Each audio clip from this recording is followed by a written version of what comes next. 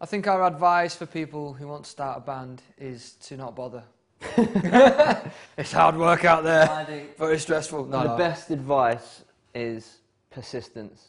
Yeah. Like you just you got to persevere through everything. Like it's so hard. There's so much competition. There's nothing better than when you get four, five, six, however many of you is in the band.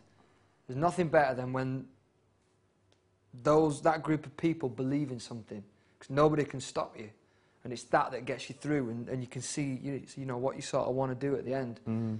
and to go out and play gigs with your friends and stuff. I think it's harder for a solo artists; they don't get that sort of vibe, but being in a band is just awesome. Yeah, I think one of our fundamentals is that is our relationship with each other. The fact that we get on, you know, we're best Really best well. friends.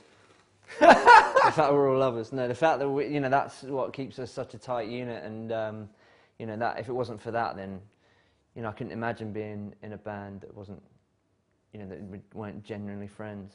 I just think it'd be miserable. So I think that's our kind of the secret to why we've been together so long. Yeah, and I always stay hungry because even even we've still got stuff that we want to do and want to achieve, uh, you know, with McFly. So Aim high.